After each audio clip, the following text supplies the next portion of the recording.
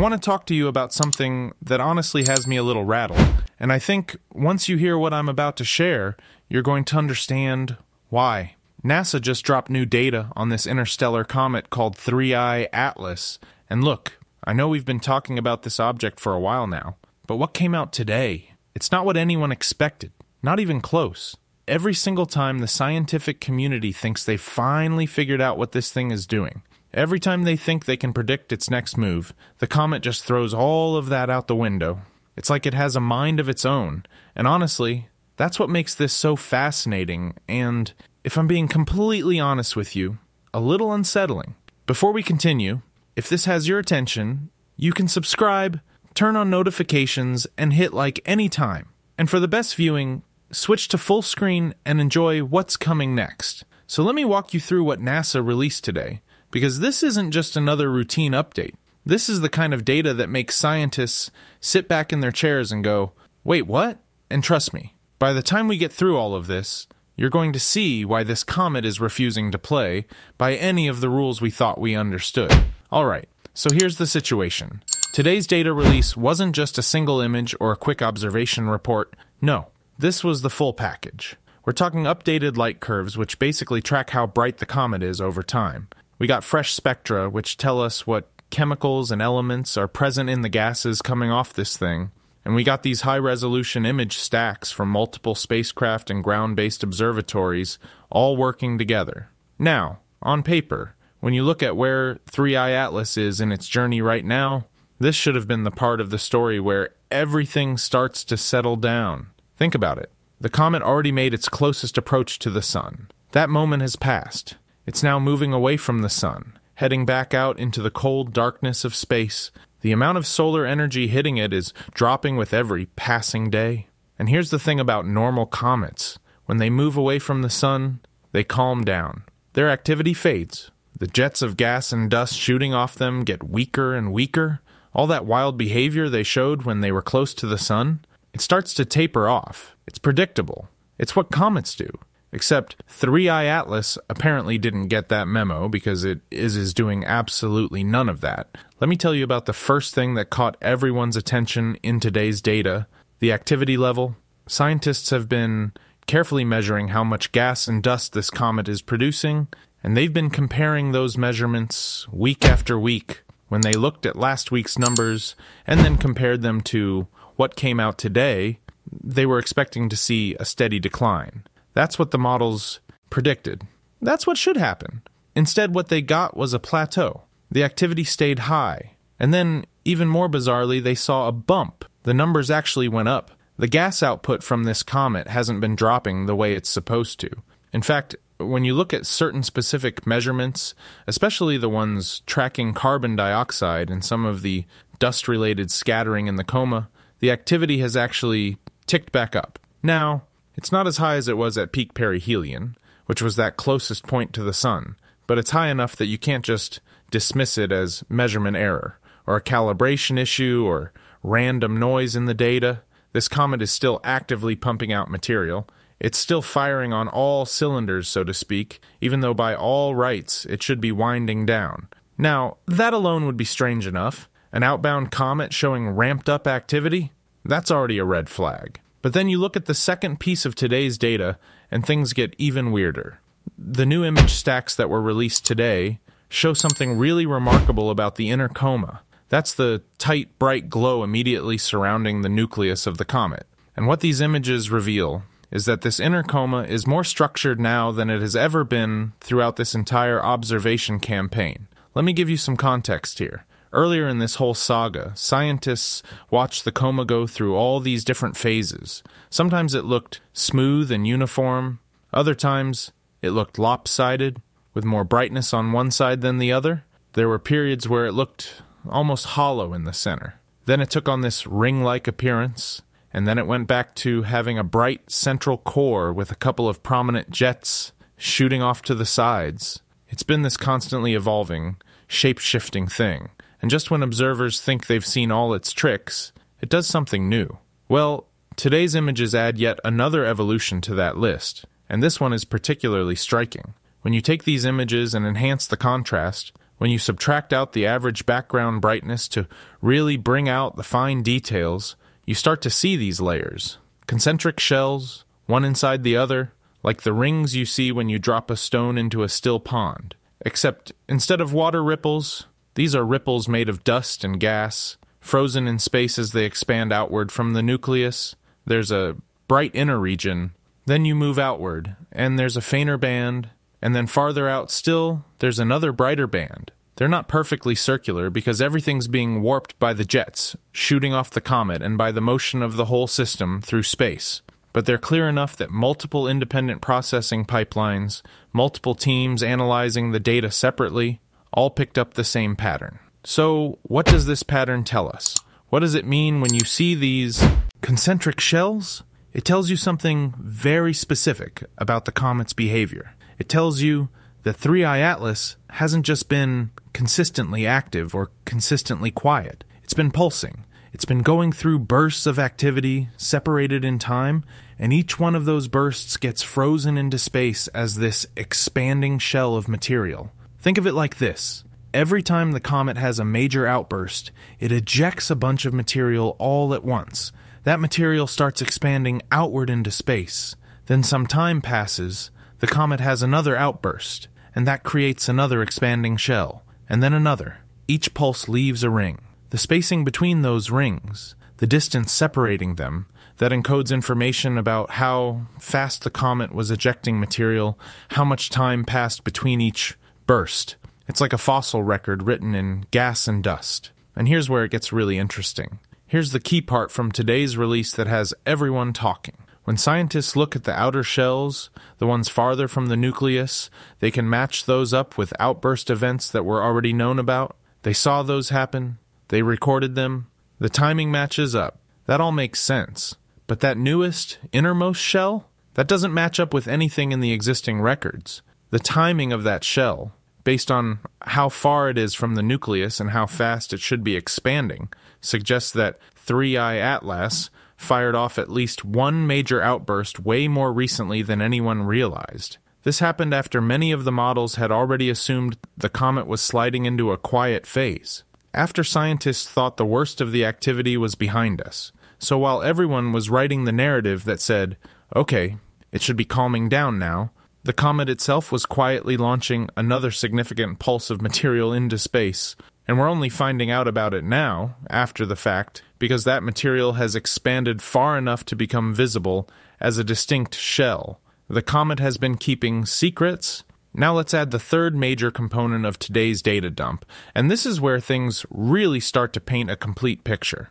NASA released updated numbers for what's called the non gravitational solution for 3i Atlas's orbit. Let me explain what that means, because it's actually really important. When you track a comet's path through the solar system, you can't just use gravity alone to predict where it's going to go. Comets are constantly venting gas and dust, and when that material shoots off the surface, it acts like a little rocket engine. It pushes the comet, not by a huge amount, but enough that over time it changes the orbit in measurable ways. So orbit fitters, the people who calculate these trajectories, they have to account for that extra push. They have to figure out how much the comet is being shoved around by its own outgassing. And every time NASA releases new observational data, those orbit calculations get updated and refined. In the previous orbital solution, before today, the magnitude of that push, that non gravitational acceleration, it looked like it was starting to ease up. It looked like the comet was finally letting off the gas, so to speak. But in today's updated solution, it levels out and then it holds steady. The comet is still being shoved by its own jets with almost the same strength as it was days ago. There's been no significant drop off. It's not relaxing. It's not coasting. It's still actively steering itself through space with continuous outgassing. And all of this, all of this ongoing activity, all of these fresh outbursts and sustained jets, all of this is happening while 3i Atlas is farther from the sun than it was during some of its earlier, supposedly quieter phases of observation. So let's take a step back and put all these pieces together. What do you get when you combine all of this information? You get a picture of an object that is fundamentally not following the simple heat up, flare, cool down arc that we expect from normal comets. You get a comet that refuses to let its activity drop on schedule, the way the models say it should. You get a comet that keeps pulsing out bursts of material that leave these visible shells in its wake. And you get a comet that maintains a strong, non gravitational push, continues to steer itself with outgassing, even as the solar energy input steadily falls. That's why today's release is such a big deal. It's not just another data point. It's not just, oh, hey, we saw another weird thing. What this data is really saying is that our entire timeline, our whole framework for understanding how this comet should behave, is fundamentally off. We're not just missing details, we're missing something important about the basic physics of what's happening here. So naturally, the big question becomes what could possibly be keeping 3i Atlas so active? What's driving all of this? There's one idea that's really gaining traction among the researchers, and it has to do with something called delayed heat waves. Let me walk you through this because it actually makes a lot of sense when you think about how heat moves through ice. When 3i Atlas made its closest approach to the Sun, that perihelion passage, the surface of the comet heated up really fast. The Sun was pounding it with intense radiation, and the outer layers of ice absorbed all that energy. But here's the thing ice is actually a pretty poor conductor of heat. So while the surface was getting hot, the deeper layers underneath were still cold. They lagged behind. The heat had to slowly work its way inward. Now, as the comet moves away from the sun, you'd think it would just cool back down, right? The sun is getting farther away, less energy is arriving, so it should cool off. But that wave of stored heat that got absorbed during perihelion, that's still traveling inward. It's still migrating down into the deeper layers of the nucleus, reaching pockets of volatile ice that never saw direct sunlight, ice that's been sitting there frozen for who knows how long. And when those deep pockets hit their critical temperature, when they finally get hot enough that the ice starts to sublimate and turn into gas, they don't care that the comet is technically outbound. They don't care that the sun is farther away now. The heat is right there, right in front of them, and they're going to respond to it. They vent, and that would explain so much of what we're seeing. That would explain why we're still seeing strong carbon dioxide release, because CO2 ice sublimates at lower temperatures than water ice. That would explain why the activity curve has these bumps and plateaus instead of a clean, steady fall off. It would also explain those layered shells we're seeing in the coma. Each shell could be a snapshot of an internal layer hitting its breaking point at a different time as that heat wave migrates deeper and deeper into the nucleus. But here's where it gets really interesting, and honestly, a little concerning. If this explanation is correct, if the interior of the comet is being activated layer by layer as this heat wave travels inward, then this process isn't over. Not by a long shot. We could see more pulses. We could see more shells form in the coma. We could see the thrust vector, the direction and strength of that non gravitational push keep shifting as different regions of the nucleus light up and start outgassing. And every single one of those changes adds stress to the comet's structure there's thermal stress because different layers are expanding and contracting at different rates as they heat up and cool down. There's mechanical stress because when you have outgassing from new fractures opening up on the surface, that can actually torque the nucleus. It can change the comet's spin. It can put physical strain on the material holding the whole thing together. And that brings us to the question that today's numbers can't answer yet, the question that's probably on everyone's mind who's following this story closely. How long can 3I Atlas keep doing this before something gives? Is this going to be a gradual process where it bleeds off all this trapped energy through a series of controlled, layered outbursts over weeks or months? Or is there a tipping point somewhere ahead where one last major pulse pushes the structure past what it can handle? Could this comet actually break apart? Right now, at least publicly, NASA is being pretty measured about all this. The official language they're using is that 3i Atlas remains active at unexpectedly high levels, and that the new features in the coma indicate continuing evolution rather than relaxation. But let me translate that for you, because scientific language tends to be deliberately understated.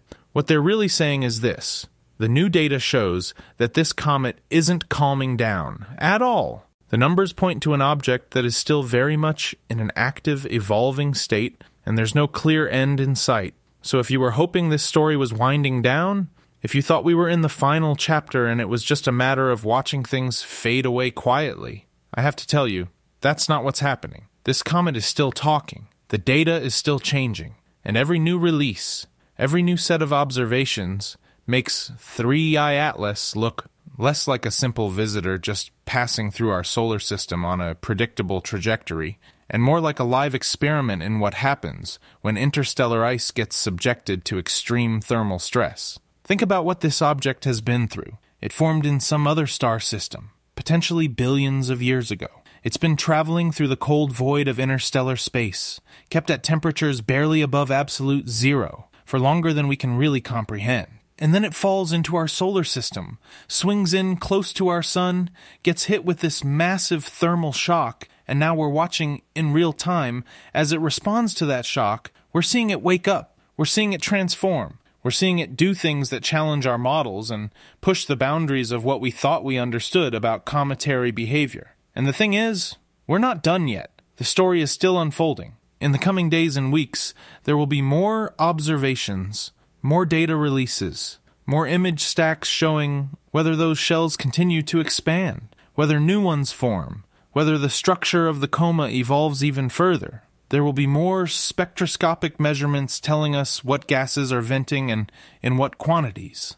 More orbital solutions tracking whether that non gravitational acceleration stays constant, increases, or finally starts to drop off. And maybe, just maybe, we'll start to see the first real signs of whether this nucleus can hold together under all this stress, or whether we're building toward something more dramatic. Because whatever 3I Atlas is heading toward, Wherever this journey ends, NASA's latest data just made one thing absolutely crystal clear. We are nowhere near the end of this story yet. This comet still has things to show us. It's still changing, still evolving, still defying expectations. And those of us watching, those of us following along as this unfolds, we're witnessing something genuinely rare. We're watching an interstellar visitor, a piece of another star system, respond to our sun in ways that surprise even the experts. So that's where we are right now. That's what the new data tells us. 3I Atlas is still active, still pulsing, still refusing to follow the script we wrote for it. And honestly, I can't wait to see what happens next. Because if there's one thing this comet has taught us so far, it's that just when you think you've got it figured out, just when you think you know what comes next, it finds a way to surprise you all over again.